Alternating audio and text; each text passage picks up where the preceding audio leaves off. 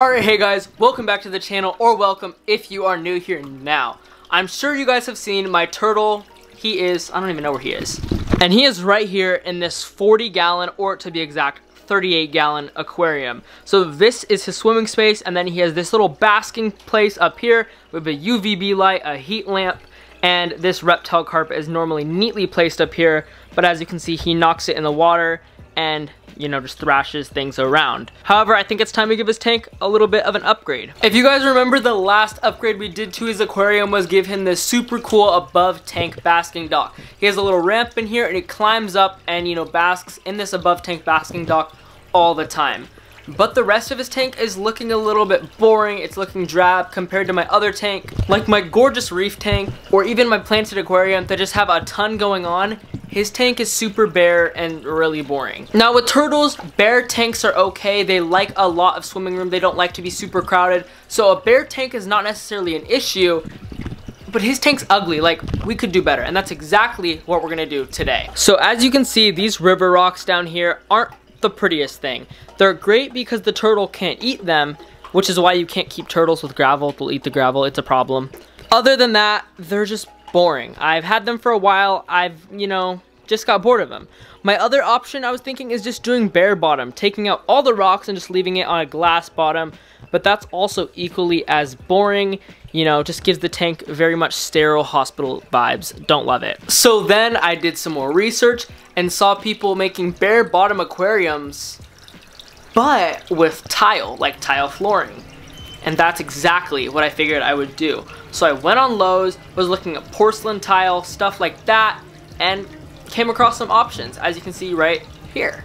So before I went to Lowe's, I had an idea of what I was looking for. So this right here is the exact tile I was looking for. I love the little gray graphite look of it. I think it looks super modern. So as you can see, Lowe's had tons of different options. There's ceramic tiles, porcelain tiles, like there was just a ton. But I stayed towards this like natural hardwood floor look. I like the gray color more than any other color. So I eventually just kept looking. As you can see, they really have so many options. It was a little bit overwhelming. Even the marble looked cool. But I ended up finding the exact tile I was looking for right here.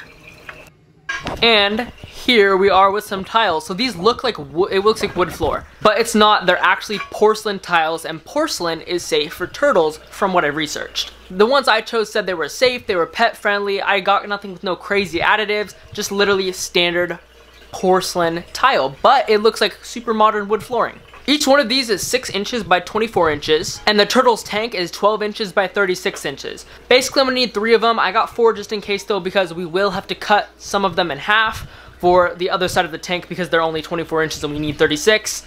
So that's to be a problem. So we'll have to figure that out down the road. But for now, let's get those ugly rocks out of the aquarium and start prepping this stuff right here to go in the tank.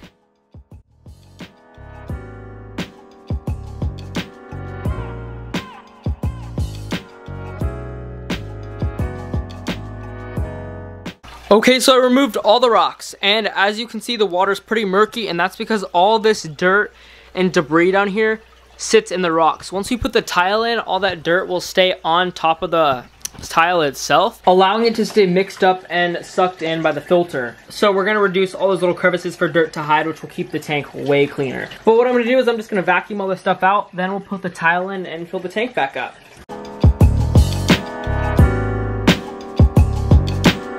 So now that the tank is empty, I went ahead and cut off the flow to the canister filter just because it was so loud.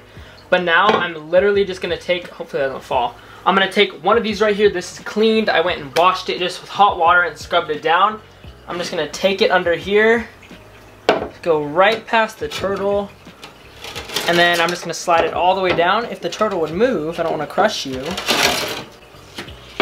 There is the first one in. Let me put the second one in. Uh, he's so confused. He has no idea what's going on. And there's the second one in. And of course they don't fit. Of course. So they look to be off by a very short amount. So what I'm going to have to do is take one of these and cut like 1 16th or 1 8th of an inch off of it just so they sit flush. That's going to be super boring. So I'll be back when that's cut because I gotta cut it. And then what I'm also gonna do is do the exact same thing and cut places, or cut tiles I should say, that fit in this part of the tank. So just like that, it is the next day. And if you look behind me, his tank is done. He really has already made it a mess, but it was actually way harder than I thought to cut these tiles. I had to use like a whole tile cutter thing.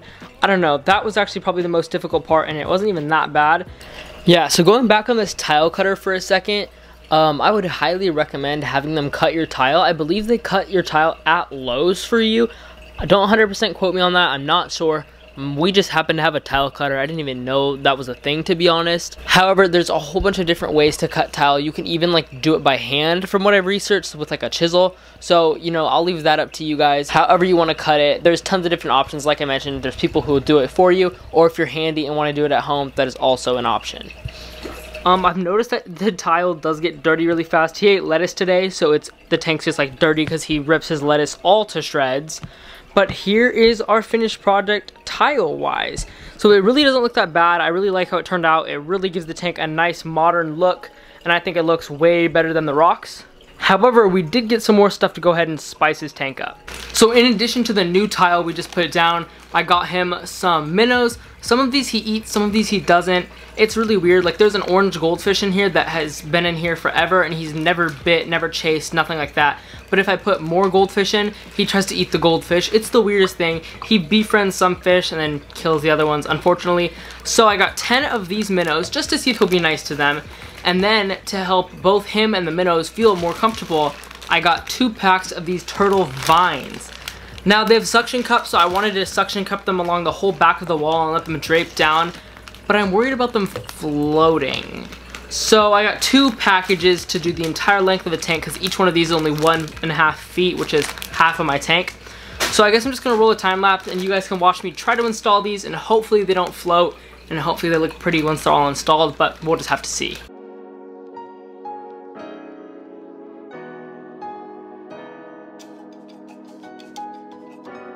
Okay, so that was also a slightly bigger production than I thought. Now these rope vines, whatever you want to call them, were 20 bucks for both, so 10 bucks a piece. And they're okay. I don't love them. Um, I wish they were just like less in the tank, if that makes sense. I don't know. I had a different vision for them. I don't hate them, I just don't love them. However, I'm going to keep them for now. I might return them down the road if they just get annoying and the turtle just doesn't like them.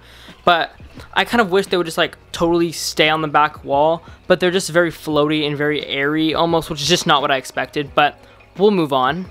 However, now that we have his tank all fixed and ready to go, let's get his new fish in.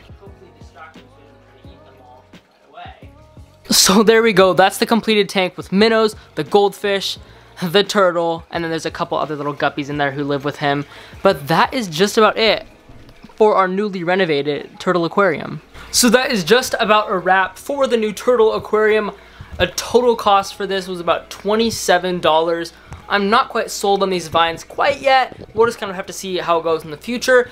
However, I think the turtle likes his new home a lot better. He's over there probably chasing a fish. but that is going to be it for this video. Thank you guys so much for watching and good. Bye.